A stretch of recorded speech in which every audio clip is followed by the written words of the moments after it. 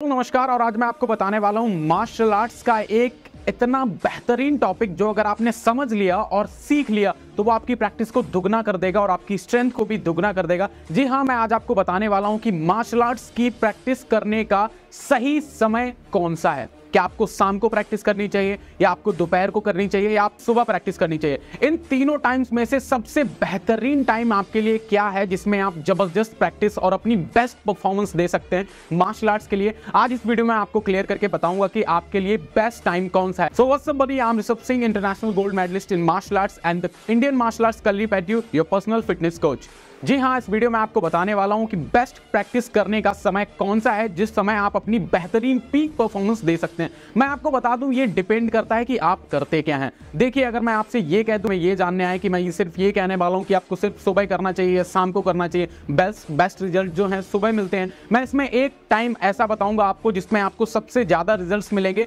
और दूसरा जो टाइम है, वो आपके ऊपर डिपेंड करता है। डिपेंड करता है कि आपके अंदर मार्शल आर्ट सीखने की अर्ज़ कितनी है। क्योंकि जिसके अंदर अर्ज़ होती है वो पूरे दिन प्रैक्टिस करता है। आठ आठ घंटे प्रैक्टिस करता है। मैं आपको बता रहा हूँ, मैंने अपना मार्शल आर्ट्स करियर स्टार्ट किया था तो सुबह तीन घंटे प्रैक्टिस करने के बाद मैं कॉलेज में भी बैठ के ऐसे हाथ घुमाता रहता था, ऐसे पंच करता रहता प्रैक्टिस तो पूरे दिन ही चलती है।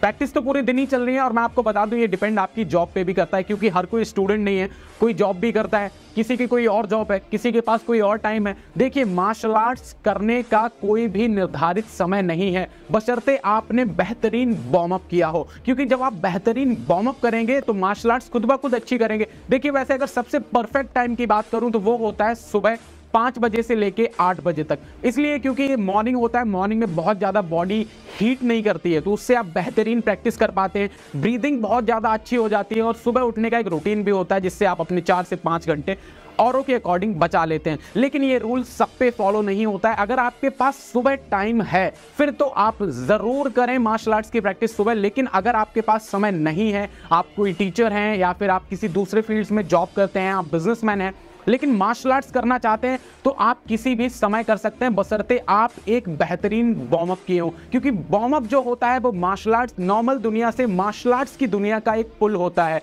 जितनी बेहतरीन आप वार्म अप करेंगे, उतना ही बेहतर आपको इंट्रेंस मिलेगा। तो कभी भी आप प्रैक्टिस करें, चाहे दोपहर हो, शाम हो, आधी रात हो, उससे पहले 20 मिनट का वार्म अप करिए और प्रैक्टिस में कोई भी डिफरेंस नहीं आएगा। आप कितने भी टाइम मार्शल आर्ट्स की प्रैक्टिस कर सकते हैं। मार्शल आर्ट्स को हिंदी में सीखने के लिए और पूर्णतया जानने के लिए मेरे चैनल ऋषभ सिंह आई को ज़रूर सब्सक्राइब करें और मैं ऐसी वीडियो आपको हर रोज सुबह साढ़े नौ बजे देता रहूँगा। नमस्कार।